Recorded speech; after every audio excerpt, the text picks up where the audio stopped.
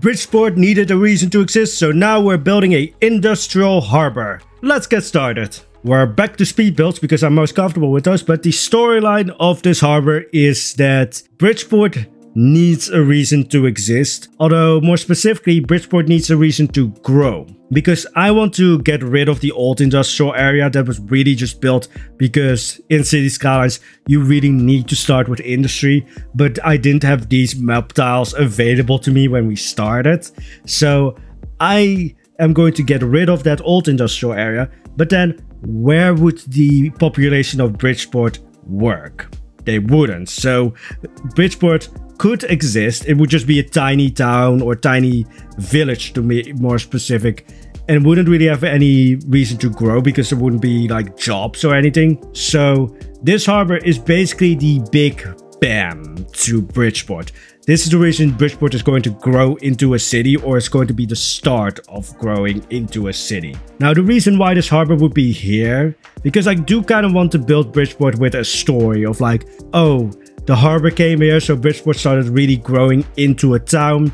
And then because Bridgeport grew into a town, this industry or this thing was attracted, which caused more growth and such. So I could really see a natural development in Bridgeport. But when it came to this harbor, it's a little bit like, how do you explain it? It could be that like, oh, this harbor is just like, it was such a good natural location for a harbor that was built here maybe it's like close to like a shipping route that was like oh it has a very good natural location for a harbor. So the harbor was built. There could be a multitude of reasons but the official reason is just bridgeport needed a big bam it needed to just have something that it grew from because otherwise it would have just stayed a tiny village forever which is not a bad thing. You have a lot of those tiny villages, but I don't think it's going to be really interesting to just keep Bridgeport as a tiny village. Anyway, so funny thing about the harbor, this is where New Haven ended. Like when it comes to New Haven, I showed you guys one episode, or basically I uploaded one episode, but I had two more completely ready. And then I decided, yeah, the foundation of New Haven is so wobbly, it's so shaky, I want to redo it. But I had built this harbor already. I had built the expansion to Bridgeport or New Haven back then already. So I kind of knew for like these episodes what I was going to do. Like I knew that Bridgeport was going to expand over the highway. I knew that I was going to build a harbor. So from this point on, like after this video, we're into new territory. Well, actually you guys were into new territory already after the first episode, but I am in new territory after this episode. And I had a lot of fun. but anyways, when it comes to building the harbor, you can already see like, oh, I wasn't, I knew what I was doing because I'm like, oh yeah, I want this shape, I want that shape. I always said like, oh, I want to keep the natural shape of the landscape. So I wanted to keep that peninsula there. I wanted to kind of have the shape of that peninsula, but make it really artificial looking. Because that's harbors. They're not supposed to be pretty. They're supposed to be really functional. So I already knew what I was doing. I already knew the shape. And so it was just very easy for me to just be completely Dutch and polder everything in. Because that's also the best way to build a harbor or to more easily build a harbor because City Skylines doesn't really want you to build on the water, which is understandable, but if you want to build a harbor, you're going to pull your hair out if you try to build this on water or with water close to it. So I just basically made the entire area into land and then later on after we finished everything then I'm going to sink the area that is supposed to be water back again. But just for building or laying out the harbor getting making sure that I get these like concrete walls to really get like a defined shape to the harbor that's just going to all be done on land.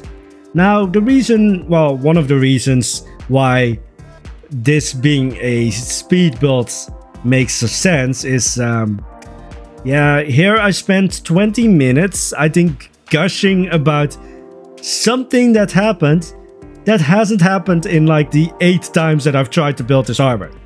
Again, I've built this harbor so many times because it was a lot of trial and error of just like, this works, this doesn't work. This works, this doesn't work. Now it do now everything doesn't work anymore. Oh, and now everything works. But yeah, the thing that I was gushing about because when it comes to getting these concrete walls, these quays, which again, let me know down below in the comments if I'm pronouncing that correctly because I'm probably not because it sounds very wrong. Like not wrong as like, oh, it sounds dirty. No, it just sounds wrong as in wrong pronunciation. But anyways, the thing that I was gushing here about was just like, oh yeah, I've built these quays and I wanted to make like docks, like going off of them. And I could never get that to work. And then I like gushed about like, oh, I'm beating the system here because it suddenly worked. Yeah, the reason that it works is because I built the quays on like either side of like, a, I'm going to call it a little bit of a channel or just this gap where the peninsula and the mainland connect.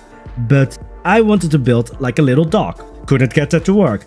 But why it does work now is because I had roads on either side, so I was connecting those roads, which means that you keep kind of the same level throughout because it's not on water, it works. It's just like looking back at it, I don't know why I was so surprised that it worked. Not that I knew that it was going to work, I was really just like trying to line up the streets so that everything is just perfectly aligned. But yeah, it's just that's like the thing of like, oh yeah, in real life, I'm a mess. And here in these speed builds, I mean, I'm still a mess, but I can look back at myself and just be like, you're an idiot. But anyway, so yeah, was basically gushing about that. Didn't beat the system. Uh, just I just learned that the system works. But anyway, so building up the shape and here's the thing with industrial harbors you can actually build those walls a little bit higher up because you have to take into account the ships. Like the height difference between the land and the ship, you have to take that into account. Not so much the height difference between water and land because you're not going to jump into the water from a harbor quay thing. I don't know how you call it. Uh, but you are going to try and get on a ship most likely. So with ships being quite big, you can actually make the walls a little bit higher than you would have in like an urban area. Like any waterfront, I would probably go for like maybe a 2 meter, at most 4 meter height difference between water and land. But with like a harbor, especially like an industrial harbor, you could go for a bit higher. So I think that this one is five, maybe six meters, like a height difference between where you touch the water and when you are on land. So that was, in a way, easy to build. Like having that a bigger height difference between the land and the water is actually easier to build because when it comes to building these concrete walls, it's a lot easier to build them when the height difference is a little bit steeper because you're essentially building the street on that line where the high and low meet. Like that's why you get the concrete walls on one side because you only want them on one side so that you can still build up to the water. But having a little bit more of a height difference between low and high for me at least makes it easier. Maybe I'm just like being an idiot again, which is completely plausible, but it just made it easier for me. Now, I do have to say, this harbor is completely non-functional besides in an industrial zoning area. Like, there's no actual, like, in-game you do have, like, a harbor building, but that's not here. I don't think Bridgeport at this time would actually need that. It wouldn't really have, like, a big harbor area because again i want to really go for a sort of realistic development for bridgeport as a storyline of like oh this was there this was there and then this grew and then this grew because that grew. So it doesn't make sense to have like a really big harbor. So this is really just like itty bitty harbor that's probably like you know not even a dot on any map. But it's a non-functional harbor. It is a kind of mixed-use harbor because I put not only industry here, but also office areas and some shops. because that is kind of realistic because you have a lot of people working here. And of course, any factory does deliver paperwork, so you would want some offices here. Now, you don't want high density offices in a harbor. Because, I mean, there's probably exceptions of like, oh yeah, Poison, in my city they have like this 50 story skyscraper office just middle in the industrial harbor. But most likely you won't have those in an industrial harbor. You would have them in like an old harbor that has been like has fallen out of use as a harbor and has become more like a just thing in like the urban network of just like oh yeah this is now part of the city. Like it's mostly more residential and office area. I but when it comes to here you probably want like low density offices just like sort of blocky buildings that don't really go up that high. And because there's a lot of workers you might want like a few convenience stores or like some kind of like fast food joints because people are going to get lunch here. Maybe if there's like a night crew, people will get dinner and such.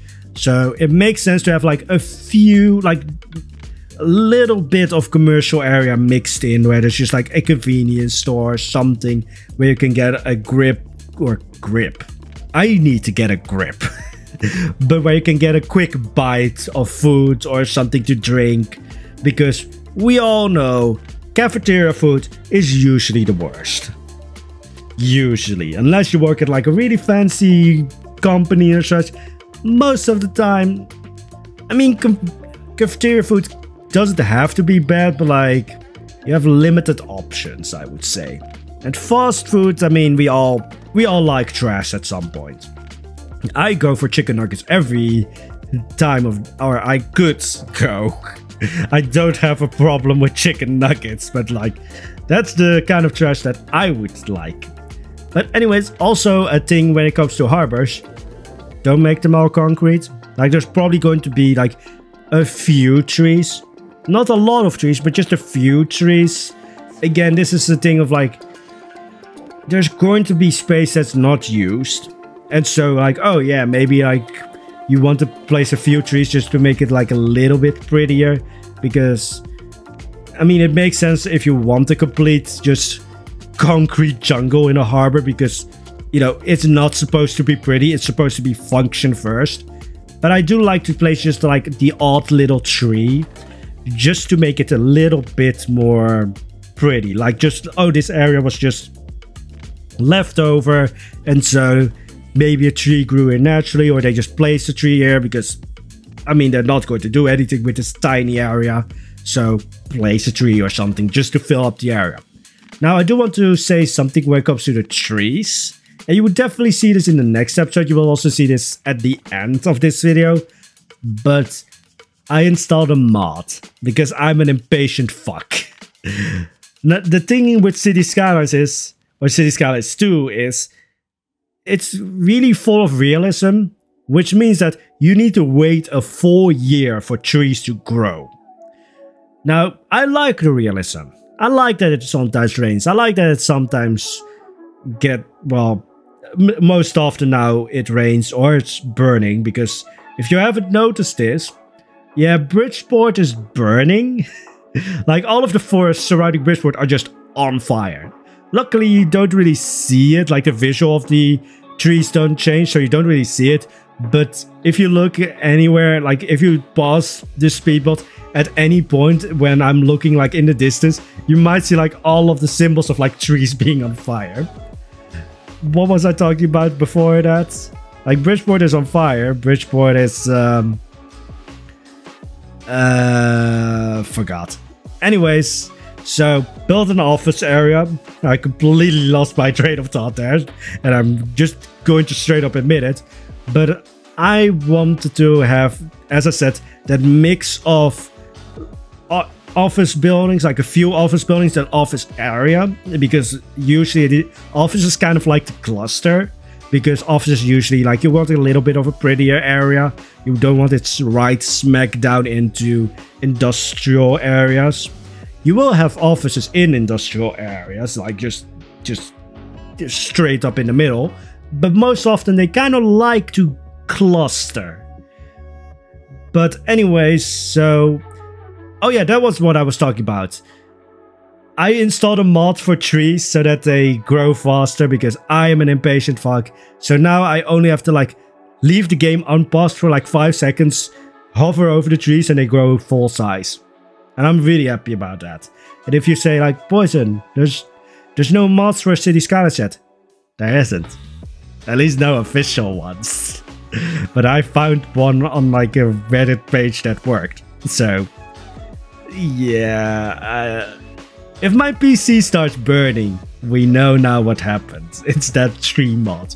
Actually, it's been very stable. Like, it hasn't done anything besides what it should.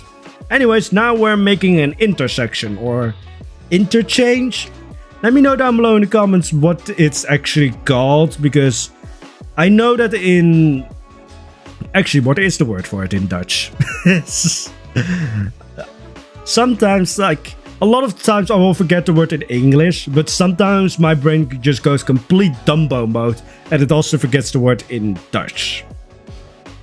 Also, I am the only person who is allowed to criticize the Dutch because I am Dutch. If you criticize the Netherlands, I will just jump up on you and shove a stroopwafel down your throat and you can choke on it. I mean, it would be a happy death because it's a stroopwafel or stroopwafel. I don't know why I'm saying it in like a weird English way, but I will shove a stroopwafel down your throat if you make fun of the Netherlands because only I am allowed to do that and all of the other Dutch people in the room.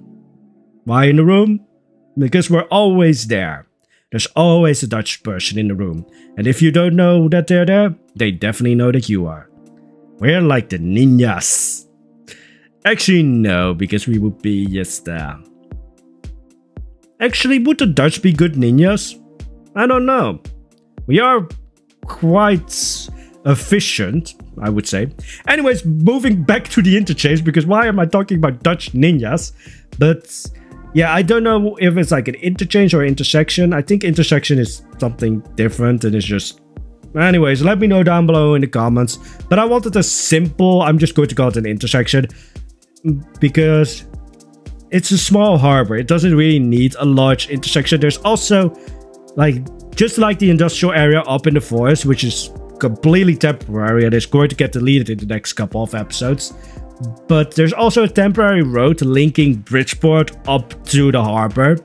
Again, completely temporary because it's just there so that the traffic doesn't all have to go over the highway because eventually there's going to be a road leading from Bridgeport into the harbor just directly instead of having to go over the highway. But it's kind of funny because if you don't like place trees or broaden the pathways along the road, cars will just park there. And so you I have this like straight road down the hill that's just full of cars and it's really fun. I mean, I don't have any more because I'm already a few episodes ahead of you guys because I really like building city skylines and I just can't stop.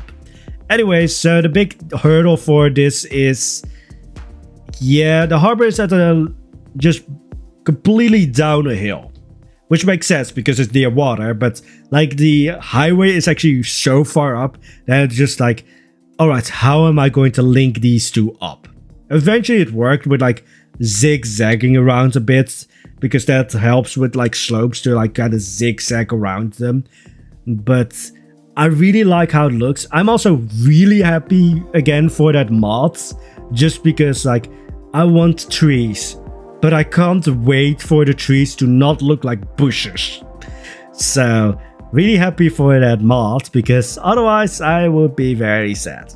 All of the trees in the harbor and this interchange or intersection, again let me know down below in the comments what it is actually called. But I'm really happy that all of the trees have grown because Bridgeport looks so different with the trees full grown. Like you guys have seen it so far, with all of the trees being basically babies. And after that mod, it was just like, this is a completely different city. And it looks amazing.